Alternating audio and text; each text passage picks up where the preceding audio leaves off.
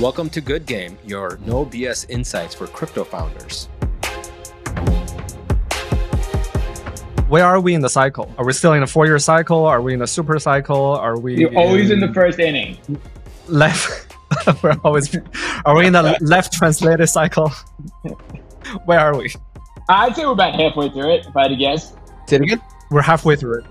Yeah, Halfway through halfway Yeah, halfway Yeah. through. Sorry. I didn't want to hear that. No, but maybe it's the super cycle. Maybe the ETFs just permanently keep us out. I mean, we haven't even had the halving yet. Yeah. It's also like, what does it even mean to be a four year cycle anymore? Do I think like we'll have rampant fraud like we did last time? Most definitely not. Looking for your next startup idea in crypto? Check out our request for startups list and get inspired at alliance.xyz forward slash ideas. All right, welcome to Good Game. Today we have Zaheer from Split Capital and Dan from CMS. Uh, and today we're going to talk macro, where the market is today. How should founders be uh, thinking about raising their round if they haven't raised their round yet? Thinking more about where the uh, Ethereum ETF is. We just had the CPI update. Trump or Biden. We can talk about talk a bit about politics and whether or not we're going to choose rich today. Is that like this? Is that the official saying? And we just like it seems done now. Is it already over? Rich. Is choose rich no, done? no, no, no. And it's like it's like done. Like it's side. Like that's decided to be like the It's the it's the for the it's the year. it's the it's gonna be the we're gonna make it, not gonna make it. It's Well, the new and- uh, have fun staying, staying poor of the Or cycle. have yeah, fun I was gonna staying poor. say right. Exactly. That's what. Yeah, it Well, is. so we But just need we need the CMS username now to reflect it, right? We need I can't. I can't MS. change it anymore. I had to. Oh, Because Oh, no. the, the stupid Twitter blue thing, it's like a pain. Oh, that's And. For those of you who don't, they, I know they buried me because I didn't have it. Like it, it like actually became unusable. Like not, not that it like really matters, but like you were just like yelling into the void if you didn't have the like little blue sticker. yeah, And then I they enjoyed those me. trends. I I, enjoyed can't do it. I know you need to lobby and write Elon, and I'm sure he'll It, read at least gave me, it gave me some idea where we are in the market. I mean, that was like my, one of my indicators. I was crowdsourcing them at the end. People were just giving them to me. I- it, was it got very easy. I got one in there. It was Boston Dynamics when the robot dogs were going. The CMS Boston Dynamics. That was that was my one user submission. So, um, and I actually got I got the, the the blue chips. I got the CMS logo in blue. That was that was also me. Thankfully, just just a little bit of credit I'll take for that. No, I guys, listen. I wish I could continue to change it. What about the picture, like the uh, P, uh, PFP? You can't change it. They'll they'll nuke Oh, yeah? your uh, yeah, Yeah. They'll, they'll nuke Yeah, your, your basically- status. They lock you in. Yeah. You can't. It's just you can do this stuff. It's just a bitch. Like they just like make it take Yeah. time and yeah. Like I could change it. It'd just be like it's too much of a hurdle. You almost want to get paid for it at that point. Like it's just too much time. Correct. You do get paid Um, though. Yeah. Oh, true, true, true. The Whatever, you narratives, like, right? The upside. Twenty bucks. Uh, yeah. I, I got I'd much six rather hundred be able to dollars last month. That's a big. You got a big 600? check. Dude, Yeah. that's huge. Holy crap! Wow, you're eating good, huh? That's right. Six Did hundred. you YOLO into Swift? Um, let, us get let's get straight to it. Uh, what's what's you guys uh, what's your guys uh, macro view? Where are we where where we are on the uh, uh, in the cycle? What about the ETF flow? You know, anything else you track? I don't think much of the like traditional macro stuff. Like, I, I would be honest, I'm like bearish people that trade crypto, like getting involved in that stuff in aggregate. But like even more so right now, I think it's like pretty irrelevant. I kind of think it really is just about these ETF flows um, until they slow or stop. But as long as like they're consistently like putting in, I don't know, 300 to 500 million sort of a day, I think it's a pretty easy trade um, where you just like sort of like run with that. Like, I really don't think you care about anything else that's going on in the world.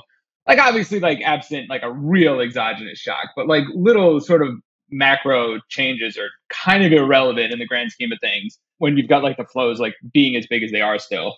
Now they may slow, right? Like they- they're not gonna. I mean, maybe they'll be like this for a really long time, but like it's it's it's not like a guarantee. But while it continues, just like ride that wave. when do you think i mean i obviously it's very hard to figure out when it'll slow down but like if you're if you're a, a traditional fund manager looking into this you would obviously comp it to gold so would you comp it against gold and what like from a market cap perspective like how, how would you think about where investors will say like all right this is enough I, I think it's it's it's kind of irrelevant, right? Because like I think what what Bitcoin represents to people at this point is just like like everyone's a, a, accepted that it is just like the excess valve of uh you know monetary policy, right? Like it could be worth infinite and it doesn't have to mean anything, right? But I think the problem becomes for a lot of people like how allocated you are overall to it and if you are or aren't. It's like a binary bet, right? Like am I in crypto? Am I not in crypto? And if not, and this thing is running away from me, why am I not in it? Right. Um, and I think that's more of the question that's being asked than, you know, what is a reasonable price target for, for Bitcoin, right? Um, because uh, objectively speaking, like there's no reason why it's trading at 70K versus 100K plus or, you know, and that's also the interesting thing about like price discovery. Like, what's the fair value? Who knows, right? Like, and, and, and where does it head to from here? Uh, Bitcoin is the pinnacle momentum asset, right? So we could be trading much higher, and I think Dan and I probably agree that we probably will be trading much higher within reason. Um, but how how and why does someone get there is is I think whatever kind of moon math they want to come up with them, themselves. Yeah, I think that there's been some like outflows from like the gold products that people have attributed to inflows into the Bitcoin. I just, I just don't think like people pair trade it that much or like even really think about it a ton. Like maybe if we start to approach it in a larger percentage, it'll start to become a narrative. But in the short term, I, I don't think it's like a ton of what people are thinking. But guys, maybe uh maybe taking a step back. So every trader, every investor has different time horizons. For me, for example, my I have like maybe two strategies. I have a cycle long time horizon and I have short term time time horizon, like one to two months kind of thing. For you guys, what what is your primary focus? At what time horizon do you feel you have an edge? That's a good question. I I don't know, like one to three sort of month time horizon, if that makes sense. I am not, I'm not trading super short dated stuff, um, but I think we try to see where flows are moving and then what the corollary, like if you push one part of the system, like what will react next. I mean, a lot right. of that is like a lag lead relationship between stuff, and I I think that time kind of plays out on a weekly and then maybe like a monthly sort of level. Yeah, generally what we do is we we take like a year long approach, and then we will um, condense it back to like six months, three months, one month, one week, and we'll liquidity adjust uh, each one of those different time horizons. So we'll make one big, you know, bold claim for the year, right? It's like ETH ETF, ETH is bullish, let's just say, or like last year was Bitcoin ETF, Bitcoin is bullish kind of idea. Very simple, very easy to kind of wrap around and very easy to falsify too, right? If that narrative doesn't hit, then like you can actually reduce your positioning. But everything else in between, right? Like, you know, n- nobody can tell you what is the next narrative. I think that's like the biggest trap, but it's more like, okay, there's money moving in this direction and this direction seems like it has legs and it, and then we can reason out like there's generally some, some good momentum moving in that direction. So, um, that's, that's how we think about it more broadly. And then also like, you know, final point being that, yeah, once you can kind of think about like the next uh, couple of months, then you will have those periods where markets will move like counter cyclically and then like things change like very drastically. That's why we have a high pensions for liquidity too. Okay, so I agree with you guys that probably the most important metric to track right now is the ETF flow, and that almost outweighs anything else at the, at this moment. But I would assume that there might be some things that would lead the ETF flow itself, right? So the ETF flow is a reflection of other pieces of information potentially. So one thing I can I can think of is I feel like Nvidia this one stock is actually pulling the entire market up, the entire stock market upwards, and the stock market bleeds into crypto a little bit. Um, do you feel the same? Do, do you feel there's any other le- leading indicators that might be interesting? Yeah, I mean, like risk assets in general are going to trade like sort of in the same direction. I think like the biggest issue you have with the ETF that you like can't sort of like pull like those sort of heuristics out with yet is that like the access is a little like it's stepwise, right? Like, and we don't really. I'd say everybody in this conversation has no fucking idea, and like in general, sort of the like crypto spot market participants like that we're going to talk to like don't have any ideas like the access and sort of the decision allocation of putting into the ETF for like larger pools of capital is like completely out of our purview. Like some of this stuff is like people can't even like access the like product yet. And it's like opening up and it's stepwise and like certain like advisors get access to it and then like their client base can touch it or certain like approvals and risk committees need to go through certain like larger like allocators that like may so they take so like that whole decision making process is absent to us and i think that is going to drive a lot of the fund flow for the first year of this thing and that's more important than like what is the S and P sort of done over like sort of the year. So I think like that's the problem is like yes, if we're in a steady state where like anybody who wants to trade this thing is able to trade this thing and like get a piece of it, and whatever sort of like exogenous or shocks you're seeing like in the equity market like move demand for that. The thing is like the demand is being driven by like access, like still I think for a while. And I think we the problem is we're really just like not going to really be able to get a good view into that from our world. Yeah, I, th- I think that's that's like the most important point, right? Like these flows are so sporadic, we can't even like I can't tell you what the flow will be tomorrow. The only thing is I can see it on the tape generally, and then from there, then we can kind of you know do some reverse engineering on the math. But uh, altogether, like you know, can it trade another 500 million daily for the next 30 days? Easily.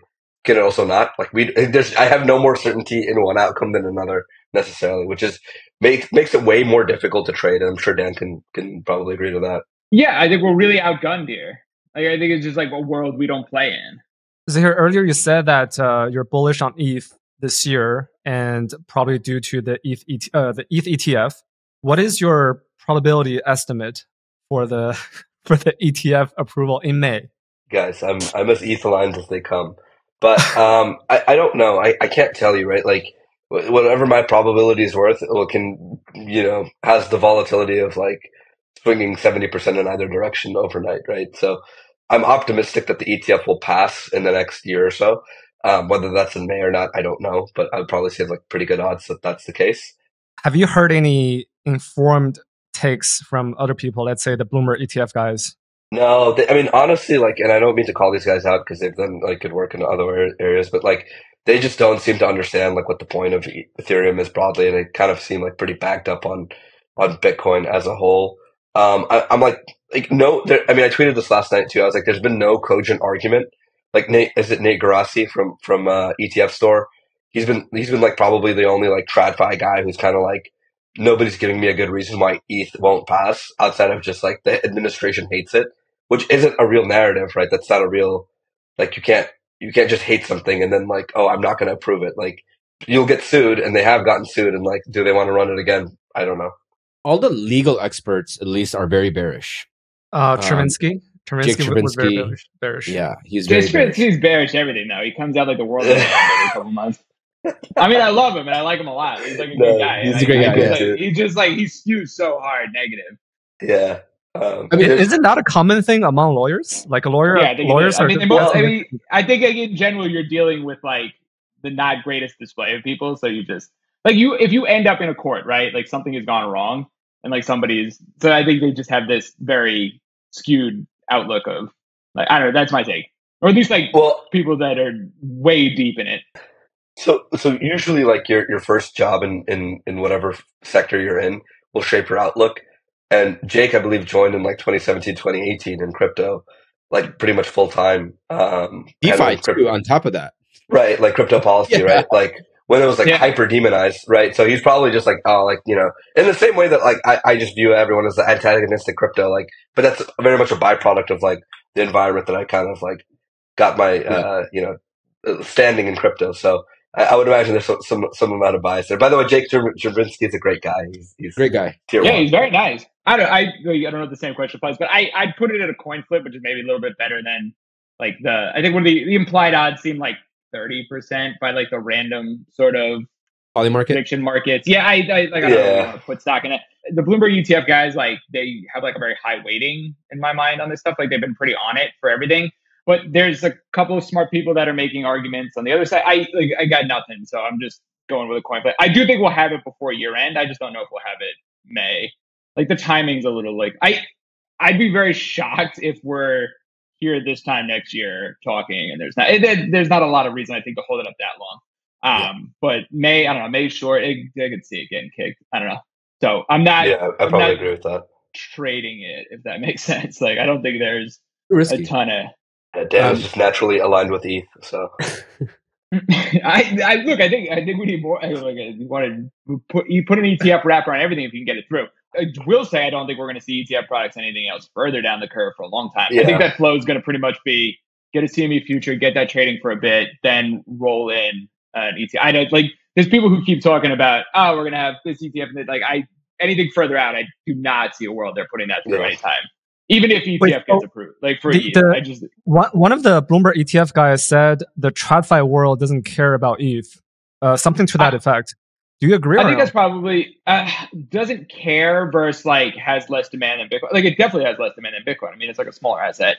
Um, I think that they're probably not getting ton of inbound interest for ETH from the people they're speaking to, and I think that probably does meet the demand. I think the bigger problem is though they're missing retail interest in it, and there's also interest in it once it exists, right? Like if you've got Bitcoin there, those people are who are taking positions in it are like at least naturally going to like look at ETH. So I don't know. I think it's a little skeptical to be like, oh, they're only interested in Bitcoin. They won't take a look at ETH. I like it's this whole like gateway drug concept with like crypto is like sort of always been a thing. I don't know. I, I think people, if you put it out there, it'll get inflows and it'll trade. I I, I think there's more demand for it than just because people aren't coming up to you being like, I really want to like get some ETH. Like I, I don't know. What would be the narrative that will get them going on ETH? I think staking, honestly, is like a pretty pretty lucrative one, right? Like imagine getting dividends on on ETH, right? What the Um, internet bond was what I, what I heard. I mean, it's it's, it's easy, right? Like, yeah, it's super attractive. Well, also like um, this is also part of the reason why ETH doesn't hold up well as an index asset because like it's so usable, right? Like you can collect yield, you can do a lot of things with ETH that you theoretically can't do with BTC today. So I think that that's narrative's also what- changing though. That narrative is changing. No, it is changing for sure. For sure, it's changing. But I'm just saying, like, like generally speaking, like you see, like the largest holders of ETH have been the same holders, and they'll go park it from like, you know, like we'll put it in, in Lido, and now it's an Eigen, and you know whatever else, right? Like Mantle or or, or Morpheus or whatever, you know, other kind of staking platform they they, they they so choose. But I think the yield narrative is pretty attractive for for ETH, right? Because it's deflationary and you get yield, like pretty sick. I think it's just easy enough to be like it's a diversity thing. Like you buy a little bit of this, you buy a little, like I don't know, you size it. You buy 80, 20 Bitcoin ETH. Like I don't know. We, we would see this historically back in the day, like Circle. Like guys would come in, they'd buy like a slug of Bitcoin, they'd buy a little bit of ETH, and then they'd like spray out. Like it was almost never like I just want to buy like one. Like like I take like a little bit of a basket approach. Diversification. Uh, I don't know if you saw Jim Bianco's tweet from Bianco Research. I want to throw this out there just to get your thoughts. Um, he talked about, you know, how you know, I think he said this at the bottom, by the way. This is around like 60k or whatever. Um, and he said that, uh, you know, because it settles in cash, we could have a polarized effect of up only and then down only, or like we'll have a liquidation cas- a cascade of liquidations because ultimately when you're selling back in uh, via ETF, it'll settle in cash. It'll automatically impact the market. What are your thoughts on that thesis or theory that that Jim Bianco put out there? I don't definitely understand. so he's saying, wait, but wait, what? I mean, like if you're selling, it's going down. I get that, but like his thought process. Yeah, that, is that's that, that's all he's saying. Yeah. Is he he's saying saying. it's worse because it's a cash create redeem mechanism? Yes. Yes. Yeah. I, I- I don't think that really matters too much. I, I mean, I think Yeah. like what matters more is like if, if the people that have like purchased the ETF, I don't know, what has been like 10 billion of flows, right? Like if those like people are more or less sort of likely to dispose of the position if it like starts moving against them. I and I would actually say it's like a group of people that probably less. Like I think like that money is a lot stickier than you sort of see with the traditional pools of capital that were purchasing crypto. Like crypto is still is like very retail heavy, right? So like that tends to be a very shaky user base. I think the ETF probably skews less, though I haven't seen a good breakdown of that flow at all. I don't even know if you can get a good breakdown of it. Like if it's all just like people buying in their brokerage account instead of like going on Coinbase, like it's just the same group of people anyway, and it won't matter. But I don't know. I don't think the cash create redemption mechanism Sure. like will add volatility on the way down. I'm not a buyer of that. Yeah, it's it's it's just naturally bearish, right? If people start redeeming, um, which is something he did say, right? Like you know, because it goes up so so hot, then it might come off so hot. But yeah, I genu- I generally think like the average buyer of the ETF is not like like Dan said, some random like retail buyer who's uh, pumped in ETFs. Number one, like you can't even get options on them. Number two, it's like why would you wait all this time to just start suddenly pounding in? You could have just done it on Coinbase all these years. So I think Yep. the only rational narrative is probably like uh, the people underestimate drastically how large the RIA market in the US is and how many people are just considered high net worth individuals and how many of these people can just like you know the, the, the aggregate like number of dollars that exists in the US just from like private wealth is an insane amount of money and we're not even like close to having like any material flow uh, into crypto from from these people and it's already had such a drastic you know price impact right What are you guys uh, trading these days? Meme coins, basis trading, anything else? AI coins? Should have been trading meme coins. That's that's been all the action. Um, I say we've been we trade we trade a lot of the L ones. That's like kind of still been our dominant. Like it's it's liquid, it's big. You can like like that's kind of like been our bread and butter. Um, we do do a fair bit of the basis. The basis has been hard just because the cash like flow. Well, and I say cash, like the the ETF flows are so big that like you, you tend to like to have this like heuristic where if the curve gets really steep, right? Like that's like gravity, like comes like sort of back. The problem is if like the cash bid is so big and it just keeps like ripping it up, like that's uh, you're there's a lot of leverage in the system right now, but it's not as relevant because there's also a lot of like cash pushing through the system. Like it's it's hard to then like use sort of that natural like function. I mean, that being said, like it's it's not to last forever, and the curve will like come meet it, and you'll still get like that roll down. But you've had like better luck just like being allocated like long. So we're doing a lot of the rotation of like the L1s. Um, that has caught a pretty good bit the last like sort of week as like Solana slowed sort of its growth. Um, but we've also just been looking a lot at the new stuff that's getting built on Bitcoin. We've been taking a deep dive into that stuff. That's um, there's a lot going on there fast, and we're just trying to like get up to speed to it. So that's like sort of where we've been like playing around. Yeah, very much the same. But I would say m- more of our focus has kind of been on like the hottest of narrative, right? Which is like AI has, has taken off. Like that's been a decent sized position for us. What AI sec or I guess startups or companies or tokens you're looking at? Oh, I get to show my bags. I'm kidding. Um, Well, this is no, not investment advice. not investment advice. Um, no, I, I, being more serious, um, you know, I, I think that the simpler the narrative, the, the easier it is for people to understand.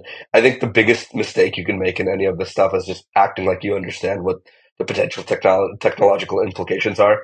I'll be the first to say I don't, and to understand that like this is equally in the same eyes of like L1 valuation. What's the value? Well, whatever the comp of the other value is, right? Like, you know, so that, that's how everything in crypto trades. It's how everything in the world trades. So Render, TAO, you know, these are obviously the two biggest names um, that people are really looking at.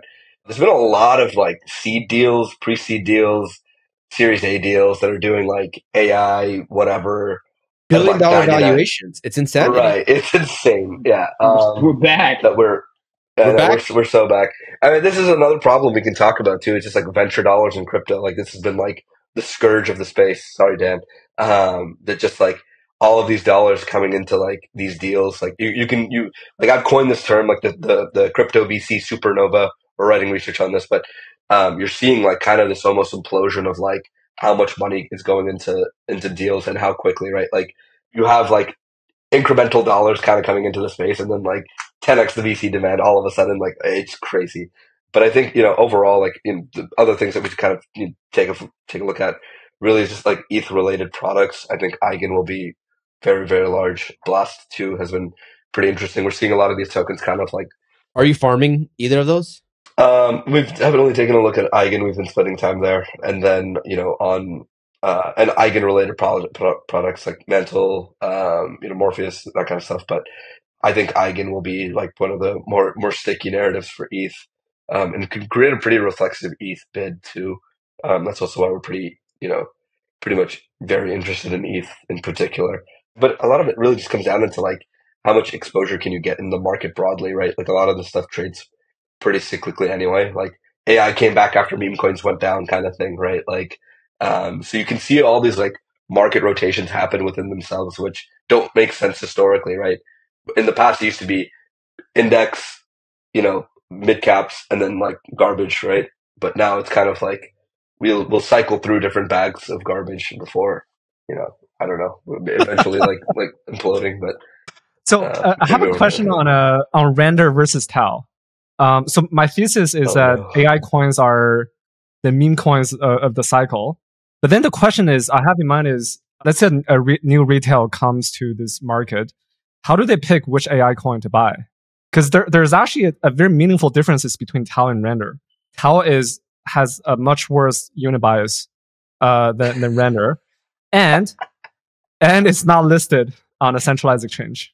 yeah, I mean, you just answered your own question. big. But Those are those are two. I mean, you, you can't access it. That's huge. And then like the unit bias, the unit bias is very real. Yeah. Um, also, it's just like in the name, right? Like, I think that's like a very un- underappreciated aspect of this. Ultimately, I don't. Um, yeah, it's like Bittensor TAO. Like, I don't. I don't understand AI from that, right? render AI, I feel like it's kind of hard to like mess that up, right? So, but they've both done like tremendously well, right? So it's just more of a function of like how much liquidity can you get on the asset, right? Like that's what I care about more. It's like okay, you want to buy some AI index, whatever, right? But like ultimately, like the only differentiating factor is just how much can I, you know, pair off against like some other asset in the in the portfolio. What about that that coin that's listed on Binance with the ticker AI? Sleepless AI or something like that. There, there there's great, literally a a, great ticker. But they have no product. I mean, like maybe they do have a product, something with games or something. From what I read when I went on the website. no no it's not XAI. You were talking about XAI, Imran. No, sleepless AI. what is sleepless AI? I, mean, I was going to look this up. At the That's the time. AI Yeah, ticker. remember on that. Binance. Right. I mean, from the website, I, I feel like it was is just Yeah, that's the one on Sleepless, yeah, Binance. Sleepless is on Binance. yeah, I, which I don't is know anything the about this. yeah, which is the OG AI ticker. It's worth like two uh, one point two billion. I guess that's what an AI ticker on Binance is worth. Right. But the ironic part is because, you know, American retail can't access Binance anymore, it might not be that bullish, right? So we Yeah. care I about the don't know. Coinbase Binance- more. You know what I found out recently? People say China bans Bitcoin or China bans crypto. In actuality, Chinese citizens can uh, open an account on Binance, and American citizens cannot. Yeah, no no part of that is surprising, I guess, I suppose. Well, they never they never really banned it, right? It was just like certain people couldn't move cash in and out. Like there was restrictions, but like you've always been able to hold it natively. Right. Yeah. I don't know. I mean, they've been dealing with this since 2013. Yeah. Well, I mean, because Binance runs a giant P2P OTC Yeah. market still. At least I think so. I not that I deal with it a ton, but like at least that's how people were getting in. Yeah. Also like Binance is way deeper on on uh sorry, China's way deeper on, on the Bitcoin narrative overall. Most of the BRC stuff that's been happening has been Oh, all yeah, Chinese. Hundred percent. I'd say they're a good six months ahead of anybody. Like, if, like there was multiple assets that were like over a billion dollars, like trading Yeah. like big size in that sector. That you, you, I swear to God, you would have taken ten people in the West that were like actively trading crypto, and maybe like one of them had heard of either. of them. It was like wild. This was like probably six months ago. So, Ordi? and- yeah, like Ordi was the big one. What was like the other? Um, Uh, Track was another one. Um, track- damn it. I guess like stacks Protocol. everybody that I heard of, but anyway, yeah. But like there was a, there was a whole just like movement over there, and we were just like complete. It's it is like a little wild to me, like how different the West and the East are still. Not so much with like Bitcoin, but like the further like tail assets. Like there's like really two different worlds still going on, and we try to keep a good line with people that are over there. It's like it's hard, but um, it's like pretty beneficial to know like how they're thinking, and they have no idea what we're like looking at half the time. Yeah, it's it's ironic, right? Like we um one of the core theses we had around stacks internally was literally we love stacks because nobody in the US like really is paying attention to it. Um and it just like does well in that narrative. And because like American VCs are so caught up in Solana versus ETH, um and like our American, No. you know, more like modularity. so whatever, whatever, whatever nonsense you want to come up with, right? Whatever buzzword you want to you want to insert, but but instead, like people really overlooked how much flow. Like these, like I remember Ordi was doing like top five volume like for Yep. a few weeks straight, like on Yep. Binance, which is just nuts. Like, and like not one person I knew like held this thing other than like my friends at UTXO. That's about it, right? Like, So, so speaking of uh, Bitcoin and modularity and all that stuff, uh, Danny mentioned your your biggest trade is on the layer one rotation. What what are you excited about? What are you bullish on these days, both from a short term and long term perspective? God, I guess like so on the short term perspective, I think you've got a lot of money that moved into Bitcoin, ETH, and Solana over the last I don't know year, right? Let's call it. Um, I think a lot of that money, if it does look to sort of just like if it looks to diversify in any like capacity, or if it looks like to like sort of move into any other bets, like I think there's other L1s. I don't want to like name names because I just don't want to get like involved like sort of like picking sides and anything. But like there's a bunch of the other L1s that are sort of of the same vintage that even if your argument is like they're not gonna sort of hold the candle, they're gonna be like a competitor. They're probably cha- trading too cheap on a relative basis. So I think there'll be like capital flow sort of into that as a pair trade. Um, I would never like out, like advocate going short like the majors sort of against those, but I do think that there'll be some more rotation of stuff into that. Um, the he's talking whole- about AVAX, by the way. Yeah, I know. I'm not talking about it. there's there's a bunch. Um, Oh, I, there's, I say there's five that like, we've like taken shots on. Um, but there's also the whole L2 world for Bitcoin like isn't a thing yet. But when it is, I do think there'll be like the same sort of like pair thing where like people will like look to those as like an allocation decision versus taking sort of money out of their like Bitcoin, ETH, and Solana positions that have done well. Um, we're also like we're pretty excited like Monad. Like we think that's going to be like a big one as it comes like down the pipe. That's like a longer term one. Like Kevin works there. He was like he was our intern for a bit. So it's like it's got a soft spot in my heart. Um, but really like sort of what they're doing over there. But that's you can't action on that, so I can name it. Uh, I don't know. That's like sort of how we we think of stuff. Like I, I, our decisions are less technical and more just market flow than they to be like completely out. Like we're not really making strong technical, like fundamental levels decisions on like where we think like pricing is going. Like we're not like this is better because of X, Y, Z, whatever, like technical implementations. It's more just like we think this is cheap on a relative basis. We think flows will sort of go there to continue. Yeah, generally we look at it pretty similarly. The only big thing that we kind of like really like differentiate on, I guess, is just like we just like holding the index more. Like if we're just optimistic ETH, like anything that anything that isn't ETH that we want to hold, like if we're bullish ETH, uh, has to really outperform in our minds.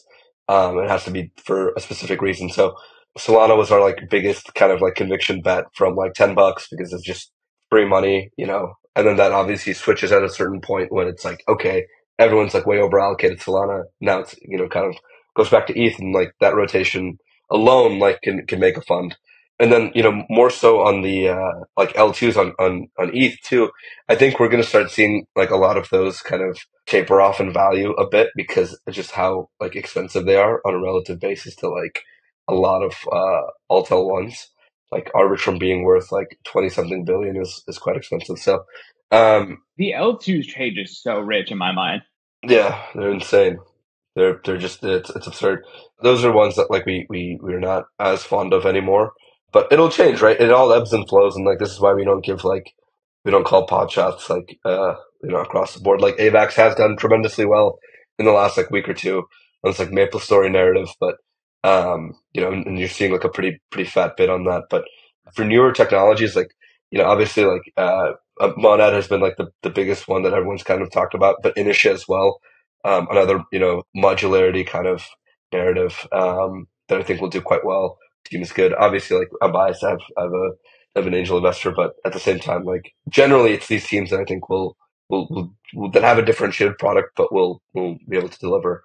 Also, it just really is 100% driven by market value, right? Like, what's to say this stuff should trade at 10, 20, 30 billion dollars when it when it goes live, right? I'd never thought Sei would trade at 10 billion like it does, but you know, congrats to the team for for making it happen, right?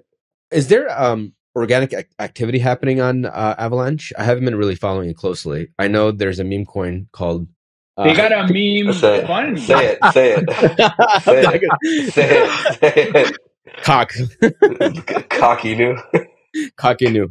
I am like definitely not just talking about Avax either. Like there's there's definitely multiple ones that are. I don't know why everybody's like inferring that, but I'm gonna it, it oh, depends. Yeah, yeah. If it goes up, I'll take credit for it. No, um, I, I, think there's like a handful that like matter. The thing with the activity is like the the TV on the activity, like a lot of times price drives it too. Um, yeah, like I think that's like part of the problem.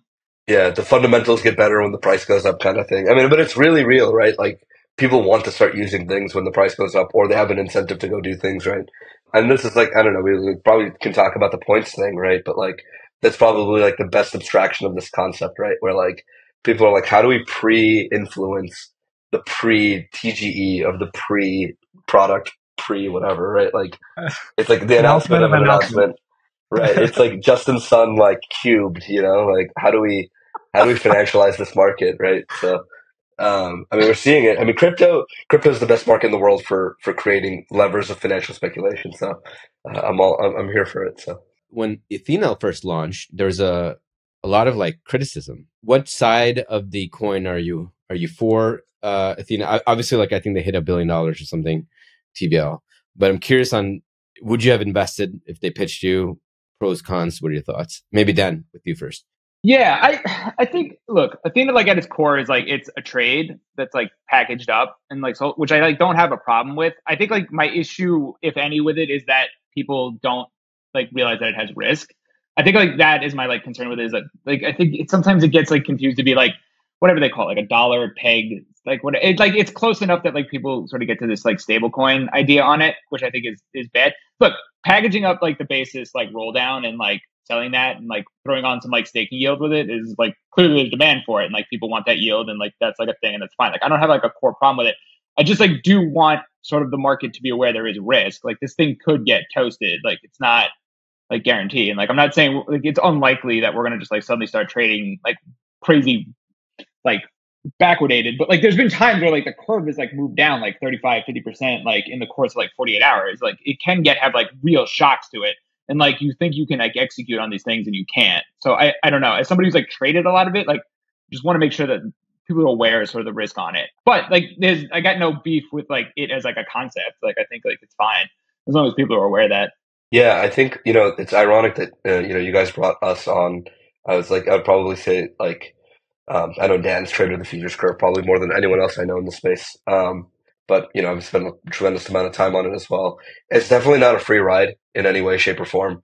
It's also like I got into like a bit of a spat the other day with someone talking about like uh, unifying rates on on uh, like across the board. It's like you should never want to re- unify rates. Like counterparty risk, credit risk between different exchanges is massive, right?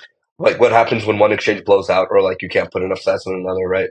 Um, and then there's like a lot of things that I think like again, it it's just depends on how you how you kind of want to advertise it. Again, I have friends who've invested in this, friends working on the project, so I'm not trying to knock it, but like at the same time, like there's definitely like inherent risks and also like counterparty risks on on exchanges that you actually want to you know go and, and, and put this money on, right? Like this is a good question, right? Like, and you can ask Dan on this, but how much money do you think the futures curve can even take, right? Um, at like a decent yield. It's not as large as people think, right? So there's even a cap to it. Like you, you, you are bringing your own kind of cap into how much rates can go, right? So like the product works really well when it's not that large theoretically. or you got a bull market But even then, like I don't know, the rates will come off enough, or like then you'll have like really weird arbs between CME and like there's like a bunch of things, right? Like, um, They call it well, uh, they call it the synthetic dollar, and the ticker is USDE.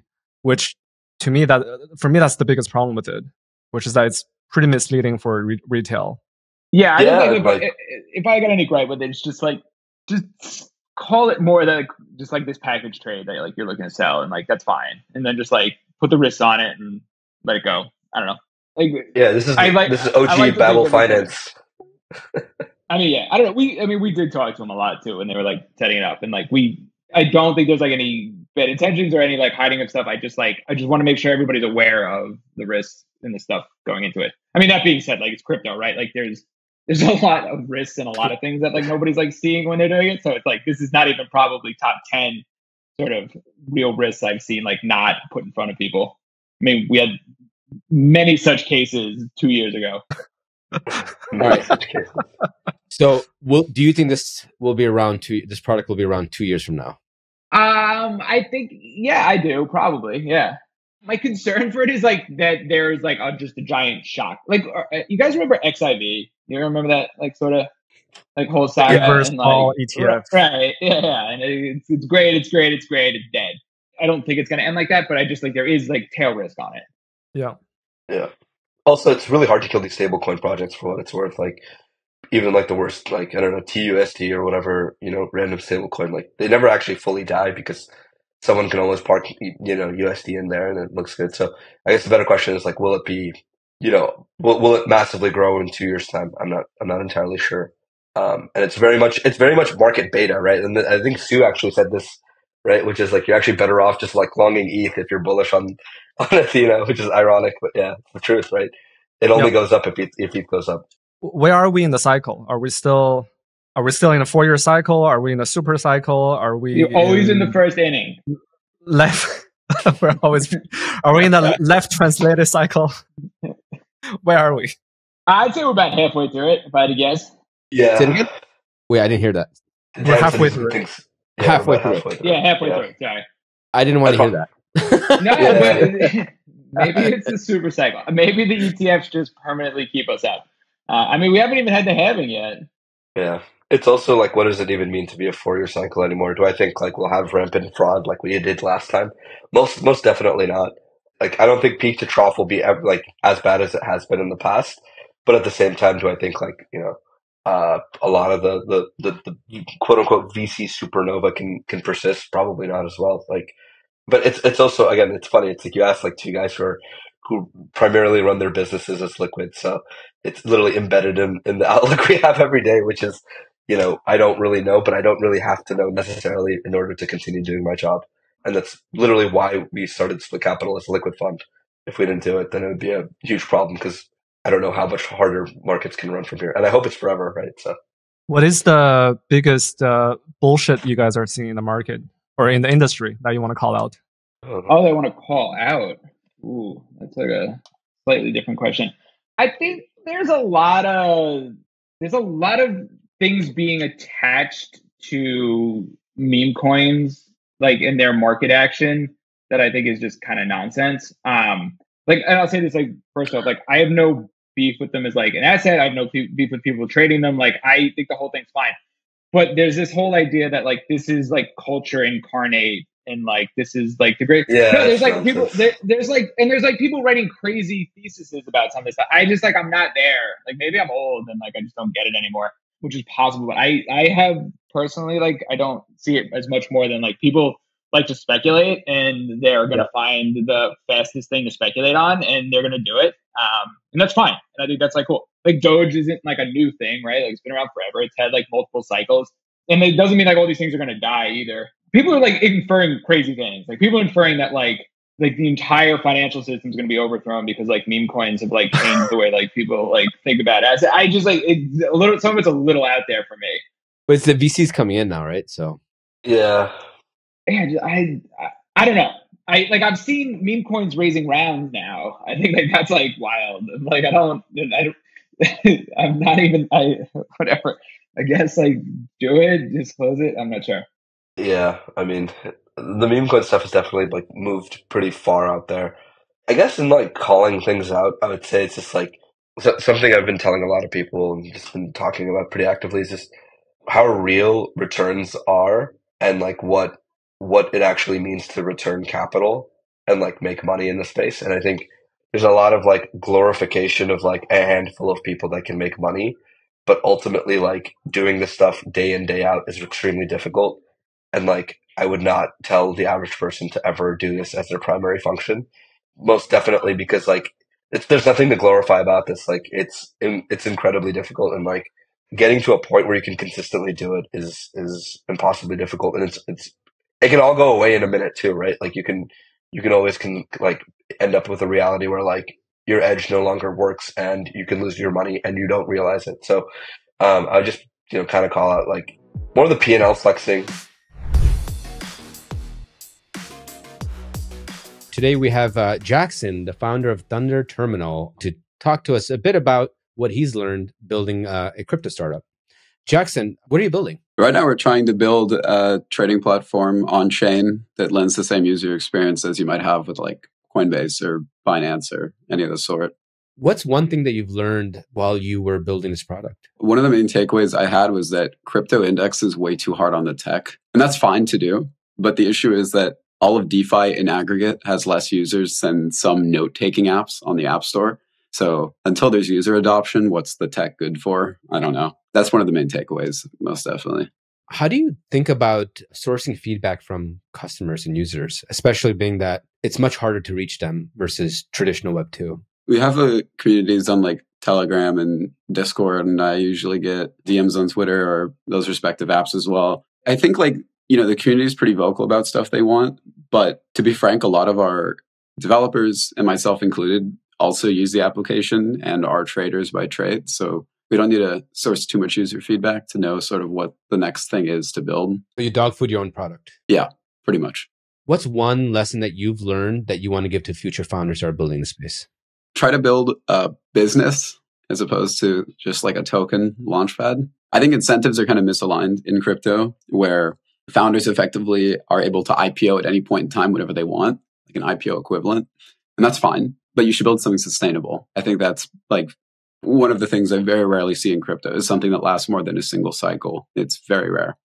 Obviously, crypto is a very volatile market. Some days you have really good days, some days you have really bad days. Given that you're building a on-chain trading terminal, how do you take this? I'll be frank, a lot of people come to me and they're like, oh, you know, X tangentially competitive product has like Y feature or does, you know, this amount in volume or whatever it is.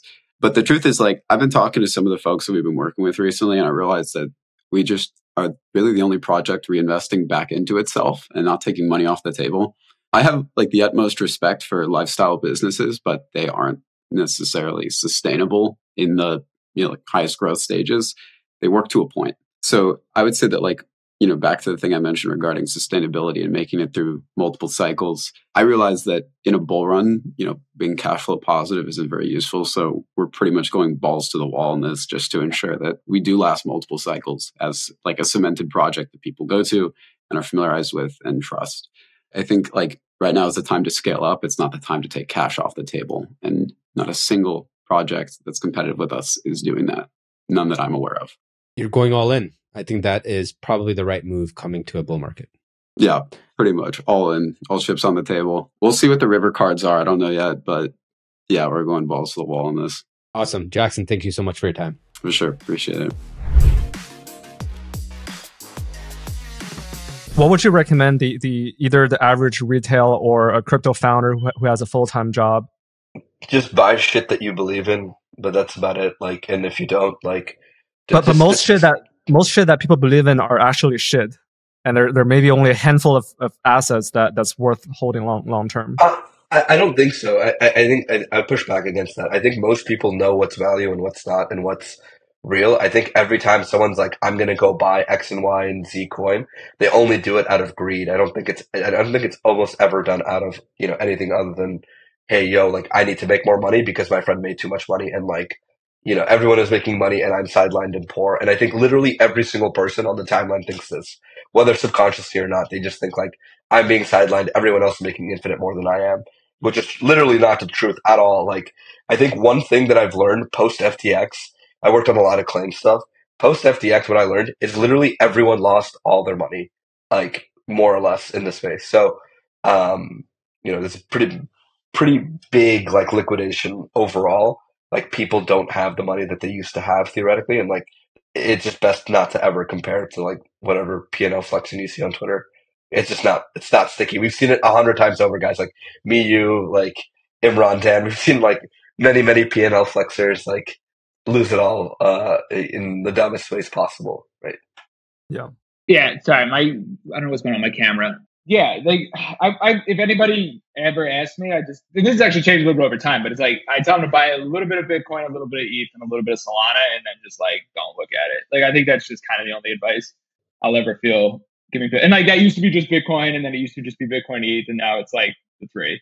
Um, and if something gets really big and like stable, I would like pitch that as like a fourth. Um, but that's like sort and like size those obviously like accordingly. I think that's like the best advice you can do. Like if, if you're not going to be out there in the weeds, like doing this like full time, like I don't think you should be bothering. Yeah. Yeah. Yeah. This is a this is another lesson from Su, which was there there are no part time doctors, there are no part time lawyers, there should be no part time trader, right? Given where the venture market is, I think uh, Meltem said tweeted this out yesterday, but uh, what she said was ultimately that VCs are seeing how much valuation has gone up last cycle and they're bidding up the valuations for the first six months so that they can, you know, stop allocating after the first six months of the quote unquote bull market. And it turns out it's becoming a self fulfilling prophecy where now valuations are already where, where it is at, like in the last half of the, the bull market. So how do you guys kind of see the venture market today? There's just so much more money.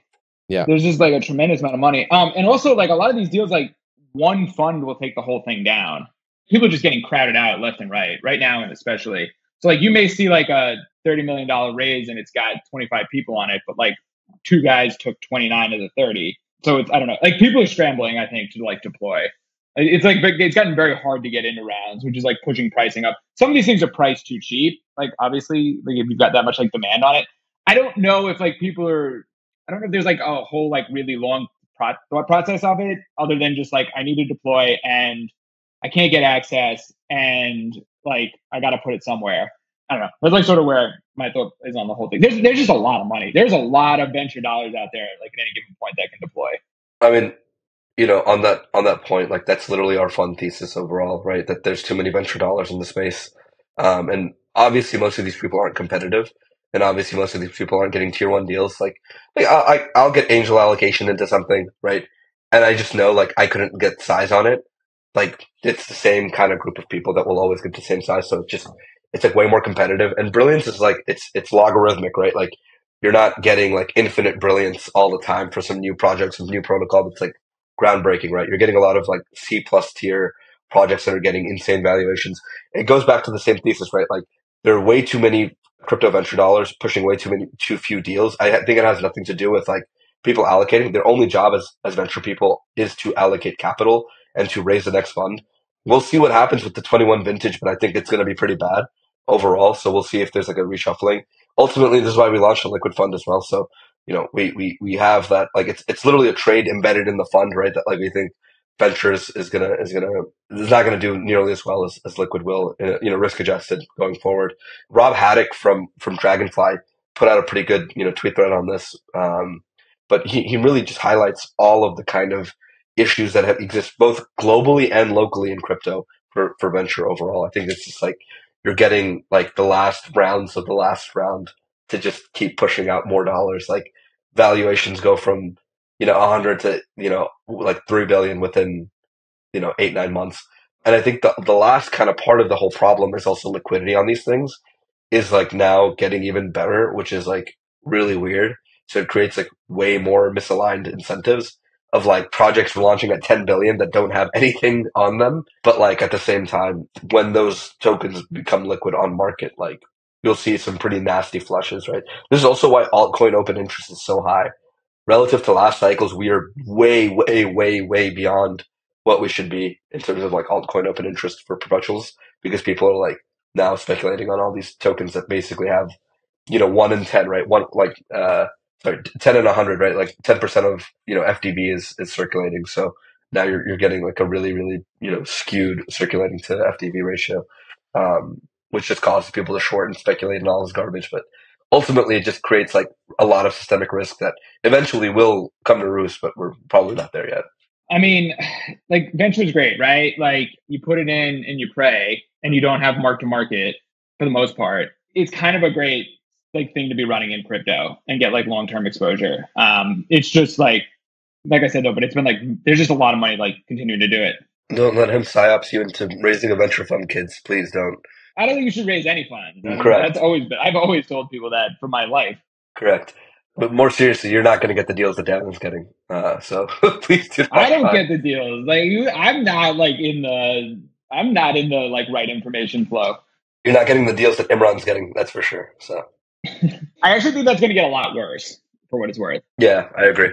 I mean, it's pretty bad. Uh, billion dollar valuations, but uh, for at least for AI and Bitcoin infrastructure projects, and and, and, and modular. modular.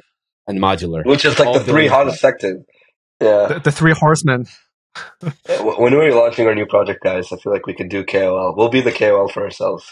ordinals. Are you guys trading ordinals or buying Uh, ordinals? Only we orders. have, um, yeah, Yeah. Like, but I wouldn't say it's like a ton. We like in like, no, I would not say it's like a core thing we done, but like we have like here and there. Any favorite projects that you like? That if you want to name them, Uh, I'd have to get the guy who like handles it. I'm like pretty out of the weeds on it. Okay. How about you, Zaheer? um, are you talking about like on ordinals in particular or anything in general? I mean, general, like any maybe ordinals, NFT, like anything that you're seeing that that you're excited about. Uh, Obviously, like if you look at ETH NFTs, they're down only. Yeah, I'm I'm a Um, cursed NFT trader, so I will simply not touch NFTs. I will buy the index. I will be the index buyer of, of NFTs and Blur and Ordi and whatever else. But um, yeah, I think you know overall, there's been a few projects that, that are like more adjacent to like core L1s. Like Butterfly has been really interesting um, that we've been paying attention to, and then also Thala as well on Aptos has been really Thala, interesting. yeah. yeah.